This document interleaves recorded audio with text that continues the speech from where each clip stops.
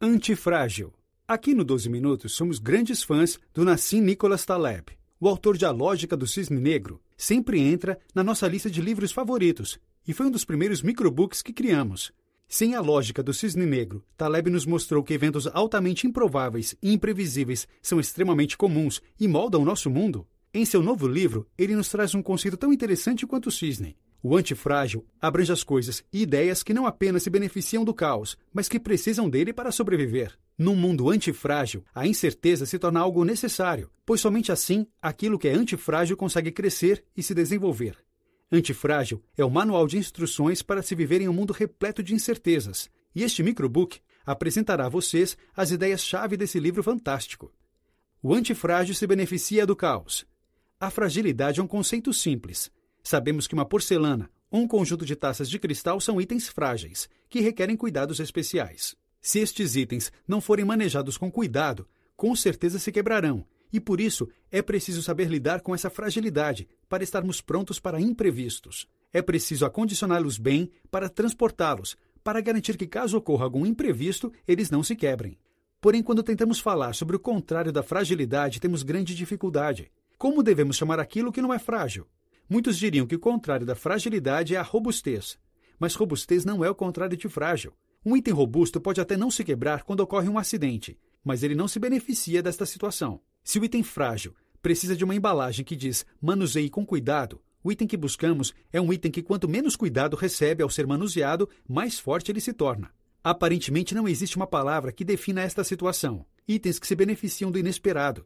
E assim Taleb cunha a palavra que guiará nossa narrativa. O antifrágil, que é a antítese do frágil. Seu exemplo para descrever o que é a antifragilidade é a Hidra de Lerna, uma figura da mitologia grega. A Hidra era uma serpente com várias cabeças que aterrorizava os gregos e era conhecida por ser indestrutível. Cada vez que alguém cortava uma das suas cabeças, duas outras cresciam naquele lugar. Quanto mais a Hidra era atacada, mais forte ela se tornava. Ela era a definição do antifrágil. Um sistema antifrágil é composto de partes frágeis para que ele possa aprender e evoluir. Um exemplo da antifragilidade é o processo da evolução dos seres vivos. Pense na teoria evolucionária de Charles Darwin, sobre como as criaturas evoluem e se adaptam. A evolução só acontece em um ambiente inconstante e hostil. Toda vez que acontece uma dificuldade, a evolução obriga a vida a se adaptar para que ela se encaixe bem no novo ambiente. Porém, existe um aspecto interessante nesse conceito. Enquanto o processo em si é antifrágil, os indivíduos que participam dele são frágeis. A evolução acontece quando o código genético é passado à frente e as mudanças vão sendo geradas. Enquanto as mudanças persistem e ficam, os indivíduos que ajudaram nessa mudança padecem ao longo do tempo. A morte desses indivíduos é necessária para abrir espaço para a evolução. E uma das regras da antifragilidade é justamente essa. Para um sistema ser antifrágil, a maioria de suas partes precisa ser frágil. É porque partes de um sistema antifrágil funcionam com informações que o alimentam, através de seus sucessos ou falhas, mostrando o que funciona e também o que não é bom. As falhas, portanto, são parte crucial do processo, que funciona no método de tentativa e erro. A cada erro cometido pelos indivíduos envolvidos, o sistema se fortalece, porque ele aprende coisas novas e se torna melhor. A economia também é um sistema antifrágil. As partes que a constituem, como as pessoas e empresas, são de alguma forma frágeis, mas a economia em si é o oposto. Para que ela cresça, algumas dessas partes precisam falhar, porque é preciso aprender com os erros cometidos pelos seus elementos. Quando uma empresa acaba falindo, ela ensina aos demais elementos do sistema econômico algumas lições sobre como não morrer neste ambiente. Atividades antifrágeis podem parecer inúteis, mas elas serão úteis no futuro. A antifragilidade faz parte do nosso dia a dia, está presente a todo momento. Quando fazemos exercícios físicos, por exemplo, estamos experimentando antifragilidade, porque estamos expondo nosso corpo a forças anormais para que ele se fortaleça e nossos músculos cresçam. Num exercício, os músculos são confrontados por forças estressantes, como por exemplo os pesos de academia. Isso faz com que nosso sistema antifrágil responda com a supercompensação, melhorando nossa capacidade de lidar com estresses, que em tese causariam fragilidade. A força surge da supercompensação em momentos de adversidade, e ela deixa os sistemas antifrágeis com elementos de excesso de força, construídos em resposta aos agentes de estresse. Em tese, nós desperdiçamos forças ao nos exercitar, e o senso comum nos diz que o sucesso depende do uso eficiente dos nossos recursos, sem desperdícios. Por outro lado, a supercompensação e a redundância são vitais para a antifragilidade, pois nos preparam para problemas desconhecidos e incertos. O exercício que parecia um desperdício de tempo, na verdade, pode nos salvar de uma emergência, onde precisamos correr ou saltar. Essa redundância, na verdade, nos deixa mais aptos para lidar e sobreviver em situações adversas e inesperadas. Controlar o antifrágil o deixa mais fraco. A consistência e a previsibilidade acabam criando sistemas frágeis. Enquanto a antifragilidade é tipicamente encontrada em sistemas naturais e biológicos, os sistemas frágeis costumam ser artificiais. Por isso, a maioria das coisas criadas pelo homem não podem ser antifrágeis, pois não podem melhorar através dos erros e do inesperado. Um sistema criado pelo homem pode até ser robusto, mas raramente é antifrágil. Pense, por exemplo, em um carro. O carro pode rodar milhares de quilômetros e durar por dezenas de anos, mas seu uso ao longo do tempo irá torná-lo mais fraco e desgastado, até o momento em que ele sucumba. Porém, apesar de incomuns, existem sistemas artificiais antifrágeis. A economia, por exemplo, tem uma estrutura quase biológica e é tão complexa que se tornou antifrágil. Porém, apenas a complexidade não torna um sistema antifrágil. Para ser antifrágil, ele também precisa de inconsistência. A inconsistência são os choques e os agentes de estresse que definem quais unidades devem morrer para fortalecer o sistema. Em um sistema previsível e calmo, não há agentes de estresse e também nenhuma pressão sobre as unidades do sistema. Com isso, aos poucos, a antifragilidade do sistema desaparece por isso, tentar controlar o antifrágil tende apenas a enfraquecê-lo. Na maioria das vezes em que o governo tenta domar a economia através de intervenções e regulamentações, por exemplo, a economia se fragiliza. Quando o governo tenta tornar sua economia mais previsível, ele remove os agentes de estresse. Isso acaba enfraquecendo o sistema. A tranquilidade retira as informações que são aprendidas pela inconsistência, através de tentativas e erros, o que fragiliza o sistema como um todo. É possível ser parte de um sistema antifrágil sem entendê-lo. Nossa sociedade superestima o conhecimento teórico e acadêmico e tende a subestimar o conhecimento prático. Tendemos a acreditar que o conhecimento teórico vai nos levar ao conhecimento prático, mas isso acaba sendo algo raro. Pense da seguinte forma: se você sabe projetar um foguete, provavelmente você não sabe ser um astronauta. Nassim Taleb tem uma larga experiência nos mercados de capitais internacionais. Ele percebeu que estes mercados eram extremamente inconsistentes e que os investidores mais bem-sucedidos eram os que possuíam menos educação formal. Apesar de não entenderem muito sobre teoria econômica ou conhecerem os países em que investiam, eles sabiam qual era o momento certo para colocar seu dinheiro em algum ativo. Por isso é importante saber que é perfeitamente possível se beneficiar de um sistema antifrágil sem entender seus princípios teóricos. Para isso, é preciso que você tenha opções e escolhas neste sistema, como as opções de compra e venda de ações das bolsas de valores.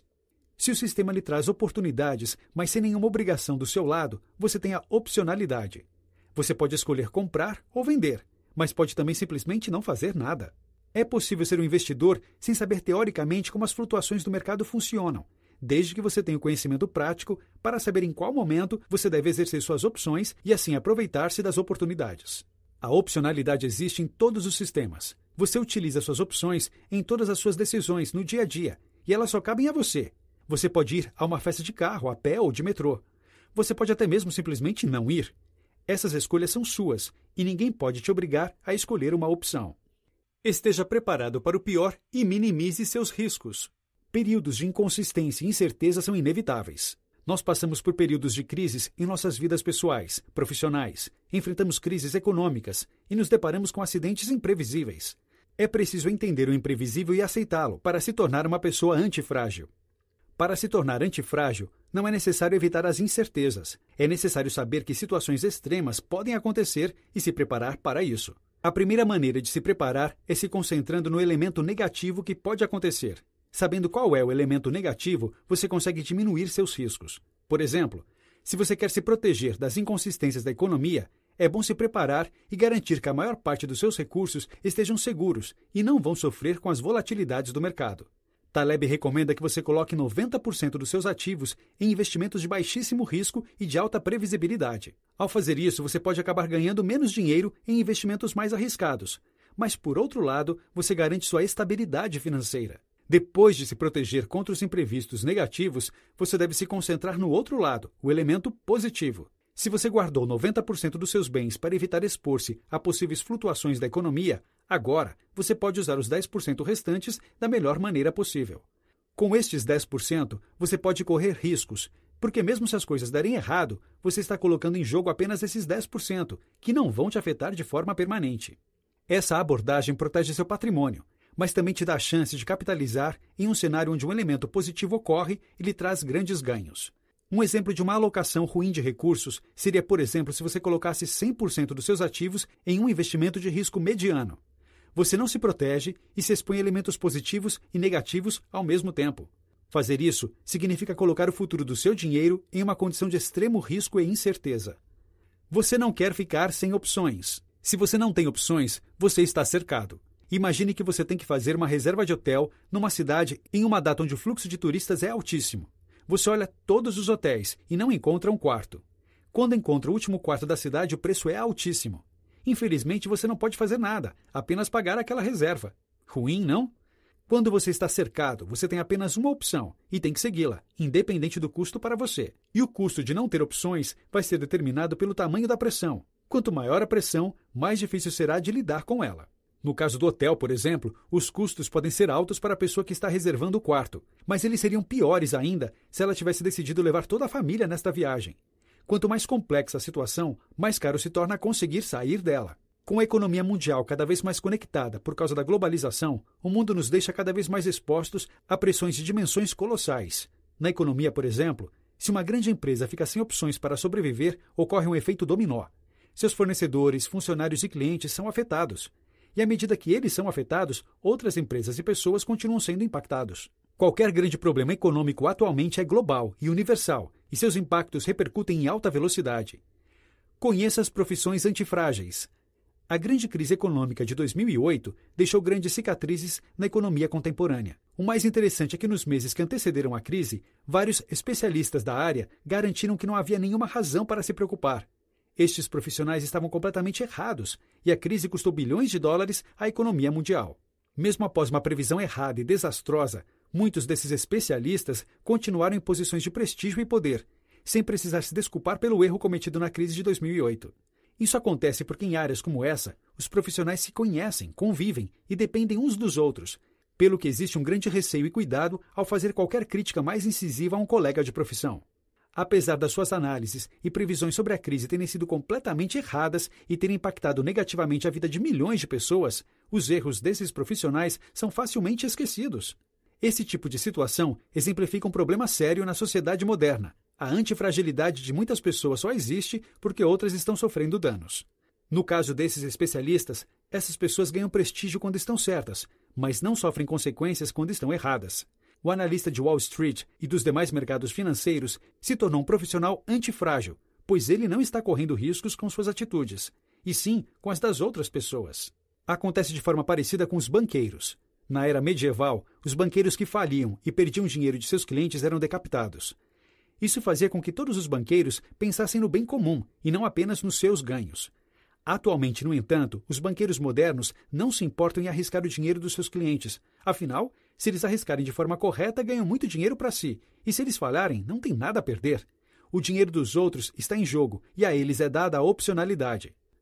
Tornar o mundo previsível não é a resposta. O jeito de pensar da nossa sociedade tem um problema fundamental.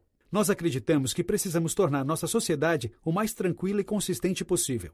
À medida que as pessoas vão ficando mais inteligentes, elas também vão ficando mais arrogantes e querem ter cada vez mais controle sobre o mundo. Como a inconsistência é algo que não podemos prever, nós tentamos evitá-la e diminuí-la, para termos controle sobre o mundo. Políticos e economistas tendem a pensar que nosso ciclo econômico de altos e baixos é ineficiente e imprevisível, e trabalham tentando entender como controlá-lo para que ele melhore e evolua. Eles desenvolvem teorias econômicas complexas que apontam os momentos em que deve haver intervenção nos ciclos econômicos para que possamos ser capazes de prever melhor. Porém, essa política de agir de forma corretiva em um sistema chamado de intervencionismo ingênuo. Infelizmente, nós não sabemos tanto quanto achamos que sabemos. Isso faz com que, ao invés de melhorar nossos sistemas, acabamos os piorando e os tornando mais frágeis sem perceber. Ao tentar tornar estes sistemas mais previsíveis, estamos roubando a volatilidade que eles precisam para sobreviver e evoluir. Sem a inconsistência, não há antifragilidade, e os problemas deixam de ser visíveis, escondendo-se sob uma falsa tranquilidade. Então, sem que se perceba, estes problemas atingem proporções gigantescas que são muito mais difíceis de lidar. Um exemplo interessante seria pensar em uma floresta. Toda floresta corre o risco de ser incendiada. Porém, o risco de um incêndio de grande porte se reduz a cada vez que um pequeno incêndio ocorre. Os pequenos incêndios retiram da floresta materiais inflamáveis periodicamente, sem atingir uma grande quantidade de árvores. Um incêndio de menor proporção é um exemplo de volatilidade, característica que ajuda a nos prevenir de problemas de grande porte. Quando evitamos a volatilidade, estamos nos deixando mais propensos aos incêndios devastadores. Previsões não são confiáveis. Nossa sociedade tem o mau hábito de fazer previsões sobre o futuro, baseadas em uma visão estreita e limitada do passado. Isso faz com que aqueles que seguem as previsões possam estar correndo o risco de sofrer consequências quando os eventos previstos não acontecem. O outro defeito desse pensamento é acreditar que a pior coisa que já testemunhamos é a pior coisa que pode acontecer. O fato de ter ocorrido um atentado terrorista em 11 de setembro, que destruiu duas torres em Nova York, não significa que algo de proporções muito maiores não possa ocorrer no futuro. Acreditar na nossa capacidade de prever o futuro nos leva a ter planos de emergência para situações negativas limitados e não permite que pensemos realmente todas as coisas ruins que podem acontecer. Emergências podem ser totalmente imprevisíveis e improváveis, e temos que nos basear no pior cenário possível na hora de nos prevenirmos. Um exemplo interessante vem da engenharia. A usina nuclear de Fukushima, por exemplo, foi construída para aguentar o maior terremoto que já havia sido visto no mundo. Porém, seus criadores não estavam cientes de que um terremoto maior do que o do passado poderia acontecer no futuro. Em 2011, então, apesar de a usina ter sido construída pensando em terremotos passados, um terremoto de maior proporção destruiu o reator da usina. A antifragilidade é o motor do progresso nós tendemos a acreditar que a revolução industrial foi causada pelo progresso científico. É isso que ensinam nas escolas, não é mesmo? A maioria das pessoas acredita que os processos teóricos guiaram os avanços tecnológicos, que transformam a maneira como a sociedade produzia produtos e assim a economia. Porém, isso não é verdade. Quando a Revolução Industrial ocorreu, ela não foi liderada por acadêmicos, e sim por pessoas sem instrução formal. O submarino, por exemplo, foi inventado por um pastor, e não por uma universidade ou uma instituição naval. Outras invenções importantes também vieram como resultados de pessoas que trabalhavam de forma independente. Elas vieram de pessoas que experimentavam novas tecnologias e ideias para criar ferramentas úteis. Foi essa dinâmica de tentativa e erro que garantiu que a Revolução Industrial ocorresse, formando um sistema antifrágil. Hoje, nossa sociedade não entende a importância da antifragilidade e a narrativa oficial de Revolução Industrial é a prova disso. Nós não gostamos de imaginar que nosso progresso pode ter acontecido através de um sistema de tentativa e erro, e preferimos acreditar em razões mais deterministas para termos avançado enquanto sociedade. Nossa sociedade quer que os nossos especialistas saibam exatamente o que estão fazendo e não que eles experimentem e tentem descobrir o que funciona. Isso tem grandes efeitos na sociedade moderna. Por exemplo, vários cientistas acabam conseguindo recursos para suas pesquisas, prometendo descobertas inovadoras advindas da academia. Estes cientistas recebem dinheiro de governos e da iniciativa privada para criar novas teorias e descobertas que vão facilitar nossas vidas. Infelizmente, o que não está claro para todos é que é possível atingir todo o progresso prometido através apenas dessas teorias. A aleatoriedade e a antifragilidade decorrente do caos são necessárias para o surgimento de mudanças e inovações reais. É melhor não tentar tornar os ambientes inconstantes em tranquilos, pois isso enfraquece os sistemas antifrágeis. Quando nos exercitamos, estamos partindo de uma prática de antifragilidade, nos deixando com capacidade extra. Não tente compreender teoricamente as oportunidades que aparecem para você. Foque em descobrir a melhor hora para aproveitá-las. Controle bem os seus riscos para se beneficiar de ambientes imprevisíveis. Compartilhe sua opinião sobre este resumo. Já ouviu falar do Cisne Negro? Não é o filme. O livro anterior de Taleb é uma obra fantástica sobre o impacto do imprevisível em nossas vidas nós recomendamos muito que você leia este microbook. Já leu? Releia, vale muito a pena.